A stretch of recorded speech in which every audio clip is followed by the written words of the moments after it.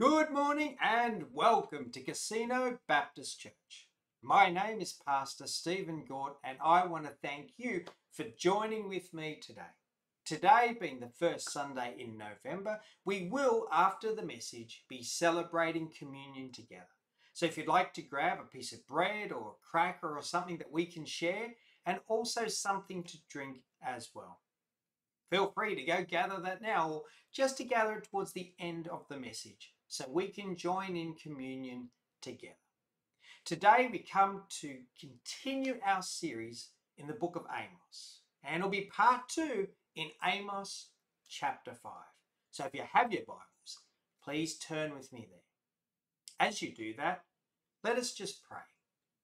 Gracious Father, we thank you for your love for us. We thank you for what Jesus has done.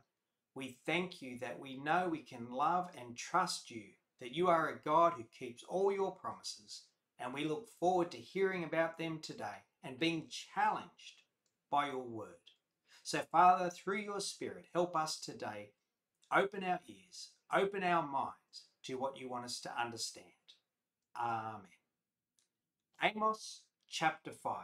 I'm going to be looking at the last half of the book, verse 18 through to verse 27. Now, I wonder have you ever wished for something? And if you have, I think most of us probably have, have you ever wished for something, then you actually got it, but was it what you expected? Or was it not what you actually expected? I remember one of these times in my life very clearly that it was like this. When I was growing up, I lived with my nana. And uh, one of the things that would be a treat is that we would go into the local town and they had this fantastic bakery. And I would have an opportunity. I could either get a custard tart or a Neenish tart. You know, the Neenish tarts are the, the, the little tarts that have the two coloured icing on top, the fake cream inside, and maybe some jam and that as well in the bottom.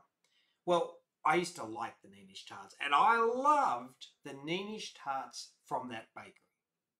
Now, after a number of years, I went to live somewhere different, and so I didn't actually have any Neenish tarts, and I liked them in my memory, but it was years, and I started to forget about them. And then, one day, not too long ago, 10 years or so, I walked down the main street of where I was living, and the bakery had Neenish tarts. And I saw them and I longed for it. I remembered that experience of having them with my nana and I wished, you know, that I could taste that joy again. Now, at that time, I was running to a meeting, so I couldn't stop and eat. But I went back later. I kept thinking about them. I went back and looked in the window. They were still there, fresh, Neenish tarts. And I bought one.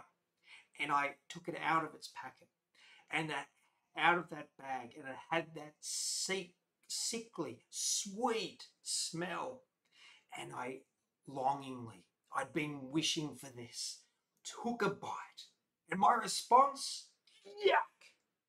I spat it out straight into the bin that was next to me.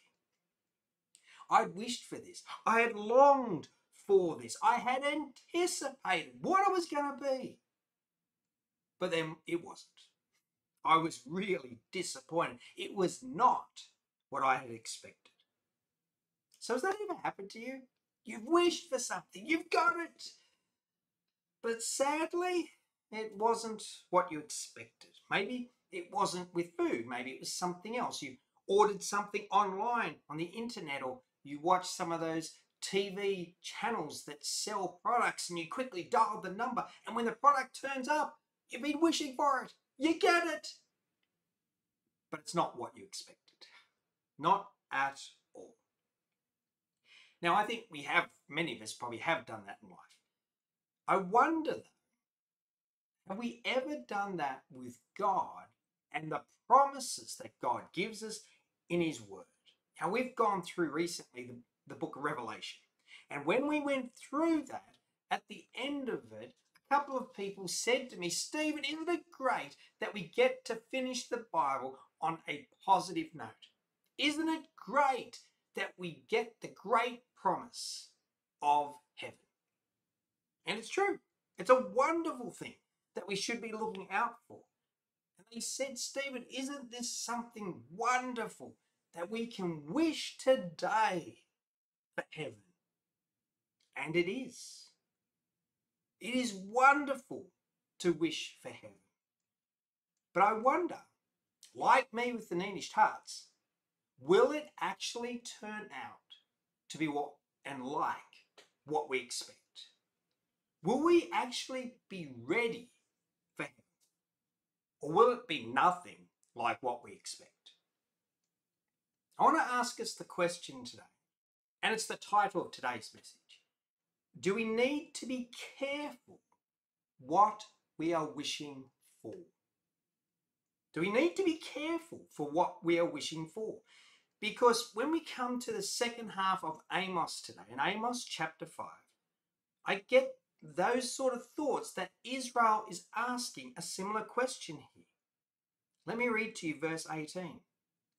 God says through Amos, Why do you long for the day of the Lord? Now, the day of the Lord was their way of thinking about um, heaven in a way. It was their way of thinking that God was going to come and free them. But is there more to it than that? On the day of the Lord was that for the Israelites was the greatest day ever. This is something that every single day they were wishing for. That God would come into the world and that he would punish everyone who was not a Jew. That he would set the Jewish people up as the rulers of the world. And everyone who had survived God's judgment would bow down before them. That God would fix every situation, every ill, every trial, every challenge that the Jewish people had faced. God would snap his fingers in the day of the Lord and God would fix it. All that the Jewish people needed to do was be Jewish. All they had to do was be born a Jew. All they had to do was occasionally go do sacrifices, give a bit of lip service to God. And the day of the Lord would come. They didn't know when it would come, but it was something they wished for every single. And you know, what I just talked about there about safety, about power, about ruling the world, and all of that, you can sort of see why it, for them, is a bit about like us as Christians thinking about heaven. In our passage today, in Amos chapter 5, God talks about the day of the Lord. But when he does, you know, these the Israelites, they're wishing for this. They can't wait for this. They have this picture of what it's going to be. And God's going to give them a different picture. I think they have to be careful what they wish for. Let's have a look. What are they looking for? Because what God, when God responds here in Amos 5, I don't think it is what they expect at all. Verse 18 says this Woe to you who long for the day of the Lord. Now, you would think it's a good thing. You would think Israel looking for the day of the Lord when God would come back and bring salvation and bring peace and set everything right. That would be a good thing to look for. Why do you long, verse 18, for the day of the Lord? They desired the day of the Lord. The Israelites wished for the day of the Lord. But God says that's not the response because it's not going to be what you expect. Like me with the Neenish tarts, I had this image, I had this view. This is what it was going to taste like. When I bit into it, yuck, spat it out. Not what I wanted not what I expected. And God wants to make it clear here the Israelites have their own view of what the day of the Lord is, and God says, no, it's not what you expect. You're wishing for it, yes, great, but it's not going to be what you expect. God says they've got it wrong. Now, remember, peace, power, prosperity, all of that. But what does God say? I love the picture in verse 19 and 20. I just love the way he describes it here. He says that they're going to face troubles in the world, face challenges, the Israelites, and then they're going to run away. They're going to escape those troubles. And it's going to be like running away from a lion. But when they run away from a lion, you then run into a bear. Again, challenges, issues, horrible. And then you run away from the bear. You finally reach your house, you reach your destination, you reach your home. In, in terms of what they're talking about, the day of the Lord, the day of the Lord, you get to the day of the Lord. That's your safety. They enter their house. They lean up against the wall, it says in 19 and 20. And what happens? They get bitten by a snake and die. You really know if you ran away from a lion, ran into a bear, ran away from a bear, got home, thought you were safe, and then got bitten by a snake, you know you've had a really bad day. God says the same thing to them. This day of the Lord that they're wishing for, that they expect, that they have this picture for, it's not going to be that way. They're going to get home and they think it's safety.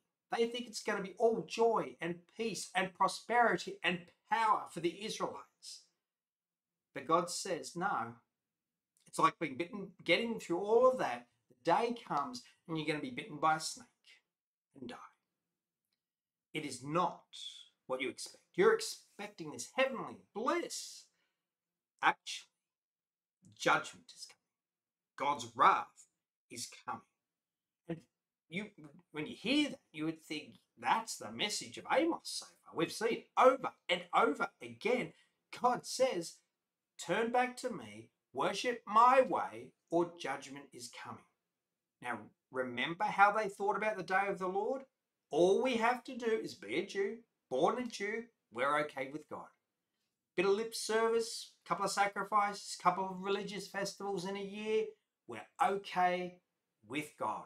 Therefore, the day of the Lord, power, prosperity, peace, that's ours. God says no. Instead, judgment is coming, wrath is coming. Why? Because they're not living the way God. They're doing it their way. And we've touched on that in the last couple of weeks as well. They were thinking they could escape all their troubles with the day of the Lord. But God says, actually, the greatest trouble is going to come judgment and wrath from God. And this follows on the second half of chapter 5 from the first half. Remember last week we had the poem of lament where Amos gave their eulogy while they were still alive. He says to the Israelites, This is your funeral service. Get ready. This is what's going to happen. Judgment, wrath, God is coming, certainty. He talked about it in the past tense. It is coming. The whole warning and the challenge, therefore, turn around and follow God his way. But they didn't want to listen. Again, here they're longing for the day of the Lord. But what they were expecting is not what they were going to get. What they were expecting was their own view, man made view, of what the end would look like. And they would come out rosy. But that's not what God says is going to happen. Now, I wonder at times whether we can fall in a way for the same trap. And maybe we Think of heaven, paradise, as peace, as an escape, as that, you know, the challenges and the issues we face here in the world, maybe health issues, financial issues, relationship issues, um, job issues, whatever it might be. Maybe we look at heaven as being an escape from all those issues. And so we, like the Israelites, are wishing for heaven. We're wishing for Jesus to come back that beautiful picture we looked at at the end of the book of Revelation. No more pain, no more tears, no more suffering, no more death. Awesome picture. That is what we want, isn't it? It is. But remember the, the challenge of it? It is only there for those who are saved. It is only there for those who follow Jesus. There are a lot of people, I think, that are looking forward to their version of heaven in our world. That when they die, they're looking for this peace, this pros- maybe prosperity. They're looking for a situation that is better than what they face now. Maybe they think because their parents were Christian or went to church, then they're okay. Maybe they think God is just a good bloke and everyone will have God's love and everyone will be in heaven. Now, the old Aussie uh, slang, it'll be all right, mate. Maybe a lot of people start to think that God's going to treat them like that. Is that how people are going to experience and expect and have this anticipation of heaven? Well, God would say it's wrong. There's only one way, and that's by believing and following Jesus. It's only in what He has done that we get to see heaven. When we think about heaven, I talked about this at the beginning of this message. We do wish for it. We do look for it. We long for it. But remember, it is only there for those who love and follow Jesus. So the day that Jesus returns, or if he, we die before he returns, then two things can happen. We either get to go in heaven because we love and follow Jesus, or if we don't and haven't made that choice, we can't do it later after we've died, we then will face judgment and wrath because we haven't been living God's way.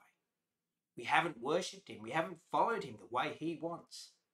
And that is exactly what happens with the Israelites. The message is exactly the same. They're looking for their view of the day of the Lord. And it's a good view if you follow God on his terms. But if you don't, Amos says you're going to face judgment and God's wrath. Your day of the Lord is not actually going to be what you expect. The same for us. If we don't love and follow Jesus, if we don't do things God's way, then this thought of heaven, this expectation, this wish, it's not going to be what we expect. And the same message for in Amos is the same message we need to hear. If we're not right with God, then we will at the end face judgment and his wrath. That's why the Israelites need to be careful what they wish for. They're wishing for this day of the Lord. Come tomorrow, they want. They would all die. They would all face God's judgment and wrath. We too need to think about that. They were not ready. Will we be ready? And were the Israelites supposed to have feast days? Yes. Were they supposed to gather in what they called solemn assemblies? Yes. Were they supposed to give burnt offerings and peace offerings and meat offerings and all of those? The answer is yes. But what's the problem there? If they seem to do this outward service at different times, aren't they doing what God wants? No, they weren't doing what God wants because their hearts weren't in it.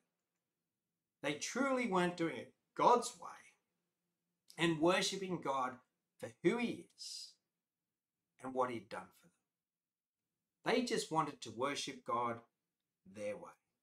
They had this false sense of security and what God tells them here at the end of chapter 5, very bluntly, is that He dislikes their form of worship.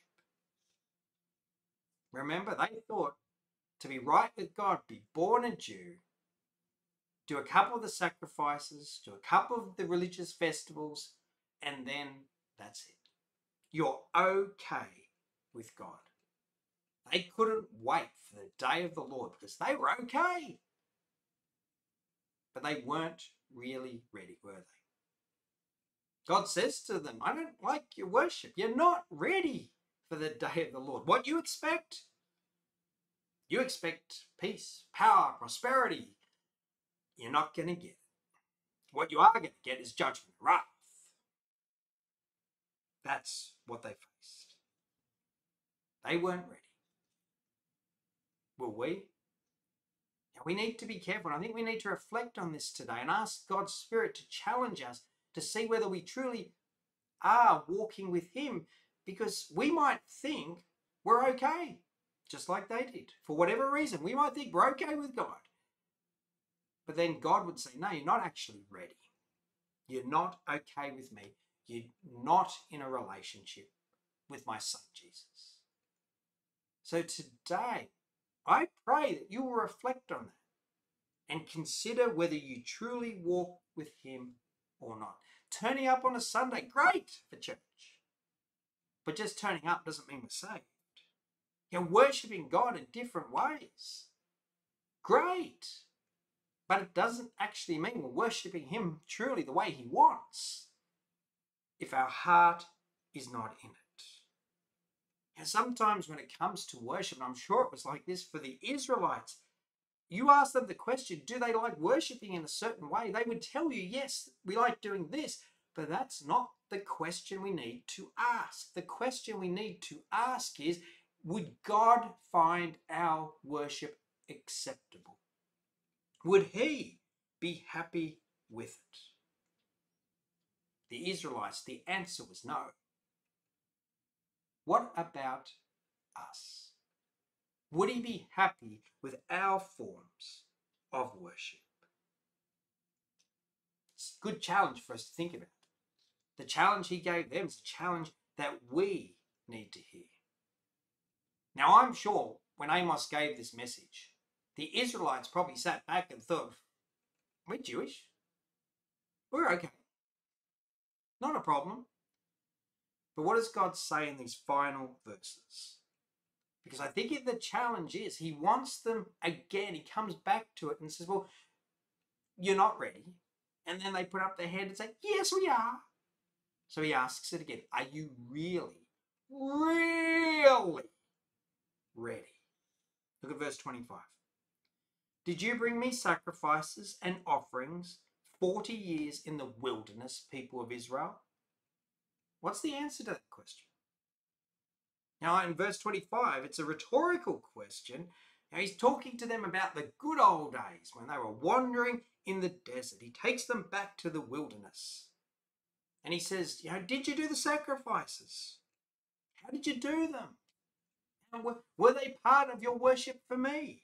It's a, it's a good question to ask. You, you know, sometimes you might see older folks sitting around talking about the good old days. That's basically what God is asking. Did you bring me sacrifices and offerings 40 years in the wilderness, people of Israel?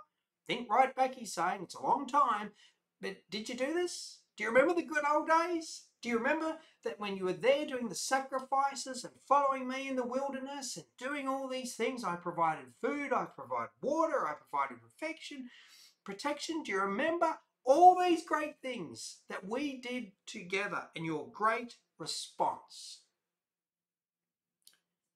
Well, there's an answer to this question. I wonder what your question was. Answer was Did you bring me sacrifices and offerings 40 years in the wilderness, people of Israel? The rhetorical answer God knows the answer to this question, and the answer is no. They did not. Now, he's asking them, Are you really, really ready for the day of the Lord? Well, they're not. They're saying, Hey, look, God, look how good we are. Born a Jew, do this, do that, we're good. God takes them back to their glory days. He takes them back to the good old days and says, Well, actually, you didn't do it back then and you haven't done it since. He really explains to them from the moment he chose them, from the moment he brought them out of Egypt, from the moment he told them how to worship him on Mount Sinai. And Moses was, they begged for the law. They begged for God to give them instruction. God gave them the Ten Commandments when Moses was up on that mountain, when he came down that mountain, because the people had asked to be given all this instruction, what were the people doing down below? They were worshipping idols. Moses hadn't even got off the mountain. And they were already disobeying God. And then he throws down the Ten Commandments and they're broken. And they get redone. But the thought is right from the very beginning. They begged for instruction. They begged on how to worship God. God answered. And immediately they turned their back on him and started to worship idols. Were they really, really, really in the day of Amos ready to for the day of the Lord? No. They thought they were okay with God. No. They'd been wrong since the beginning when God had chosen them. Like me with my Neenish tarts, I was ready. After all these years, I was ready for them. I had this picture in my mind how they would taste, how good they were. And when I sunk my teeth into them, I quickly realized I was living in the past. And maybe actually they weren't that good back then. The same for the Israelites. They're saying, God, we're okay in the time of Amos because we've always followed you correctly. And God says, uh, let's go back to the beginning and know you did it right from the very beginning. Calling on the past, living in the past, hey, it's not going to benefit you because you still failed me back then, says God. Instead of repenting of their sin, instead of turning away in the day of Amos and starting to worship God correctly, they didn't heed the warning. God says to them, you're expecting, you're wishing for the day of the Lord. But it's not what you expect. You're not ready for it. And all that is going to come is judgment and wrath. And as we know, we've talked about it uh, throughout each week in this series, we know it happens. In 722 BC, when the Assyrians come in and wipe them out. But we need to think about this for ourselves today, not just whether we truly follow God or not, not just whether we're truly worshiping Him His way or not, but as we wish for Him, as we look for that peace, that security, no more pain, no more suffering, we need to realize that our neighbors, our schoolmates, our workmates, our family, people in our community, if they don't know Jesus, if they don't follow him, that picture that we're looking forward to, that's not going to be the picture for them. So part of the challenge is when we understand what Amos is talking about is to realize we need to be right with God first. That's number one. But two, we need to share about Jesus with people so that they can have an opportunity to respond. Do we do that? Do we take that opportunity? Will we be ready to face God? Will they be ready to face God? As we come to close, I want to share with you a funny story. It's about a guy who forgot his anniversary, and his wife was really, really unhappy that he forgot. And so when he came home from work and he had forgotten, she said through clenched teeth, she told him, the only way that you can fix this is that when I wake up in the morning, I want a present sitting out in that driveway that can go from naught to a hundred in three seconds. And then she stormed off to bed. Well, when she woke up in the morning, her husband had gone off to work and she looked out the window and there was a little box, all wrapped up nicely in the driveway. And so she put on a dressing gown, she raced out, she got to the box, she tore open the wrapping paper. And you know what the present was? A brand new bathroom scale. Well, the funeral for her husband was held three days later, the gift wasn't what she expected, was it? She wanted something to go from 0 to 100 in three seconds. She wanted a sports car. What she got was a pair, uh, a set of bathroom scales. But it's interesting when we think about it. We can laugh at that. But in reality, didn't she get what she asked for? She got something that would go from 0 to 100 in a hurry because she was overweight and everything else. What are we actually wishing for? When we think about God and His promises, what are we wishing for? Because God will give us the true answer to what He's promised, He'll give us what He expects. But is it actually what we expect as well? Does our expectations, whether it's heaven or something else, do our expectations actually match up to His? We need to be careful, like the Israelites, what we wish for. Because God will always give us what we deserve and need in this case to fulfill His promises.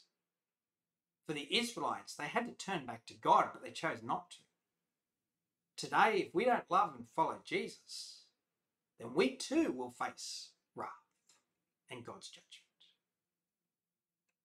Which is waiting for us today? Were the Israelites really ready to face the day of the Lord and face God? No! Are we? Let me pray. Heavenly Father, we just ask now in the quietness that your Spirit challenges us, that your Spirit opens our heart and our mind. Lord, show us whether we truly have this relationship with you or not. Lord, we want to be ready to meet you one day, whenever that will be. Lord, if we love and follow Jesus, we look forward to that day. But we also realize the responsibility the challenge that comes with it, that we need to share that great news with others. So, Lord, help us to do that this week in your name. Amen. We're going to celebrate now, which I think fits well in with that message this morning communion together. So, if you'd like to grab something to eat and something to drink, we'll do that together. I want to share as we gather around the Lord's table. It is a table of remembrance. So we can remember all that God has done for us. And we can remember the truths in the Bible, the Old Testament, the New Testament. But mostly we need to remember what Jesus has done. We need to realize that from the moment we are born, we are sinners. We have this broken relationship with God, and we cannot fix the problem ourselves. But God says, I will fix it for you. Here is my son. When he dies on that cross, I'm offering you grace. I'm offering you mercy. All you have to do is love and follow him. And therefore, the judgment and wrath that we deserve for disobeying God, we won't face it because it fell on Jesus. But again, it's only for those who love and follow him. So when we come around this table of celebration and remembrance and thanksgiving today, if you love Jesus, then participate with us. Because we remember what he has done. So when we wish for and we have this expectation of heaven, it's okay and it matches what God wants. Because Jesus did it for us. So it's not in our own efforts. Our own efforts will lead us away from God. But Jesus did it for us. so, my prayer for you is that you've made the choice to love and follow him. The Apostle Paul wrote to the church at Corinth, and in 1 Corinthians 11, he said this For I received from the Lord what I also passed on to you. The Lord Jesus, on the night he was betrayed, took bread, and when he had given thanks, he broke it and said, This is my body, which is for you. Do this in remembrance of me. So if you've got a piece of bread or something to eat, Jesus on night before he went to the cross, he was celebrating the Passover with his disciples like he had done many times. And then he says, I'm going to reinterpret it. This piece of bread, it reminds us symbolically of what my body is going to do tomorrow. On that cross, I'm going to become the sacrifice sacrifice. My body will be broken for you, for your forgiveness, said Jesus. Let's remember what he's done for us. If you love Jesus, let's take and eat.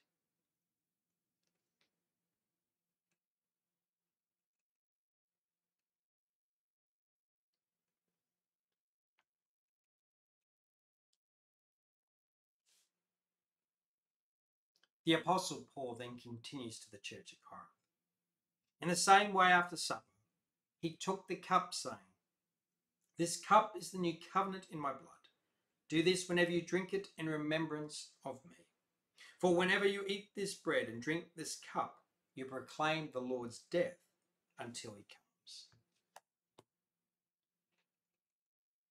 Again, he took the wine and symbolically said, This reminds us that my blood will be shed. In the Old Testament, for the forgiveness of sins, blood had to be shed. Jesus said, Tomorrow it's going to be my blood. Remember for all time what I've done for you as I died on that cross. Now, he doesn't tell them here, he told them earlier that three days later he would be resurrected, but they didn't get that either. We know the full story. When he was resurrected, three days later, he conquered sin, he conquered death. And he gives us that beautiful picture that If we love and follow him, one day we too will have new bodies. So, as one family with God as our head, looking forward to that day of new bodies, let us drink together.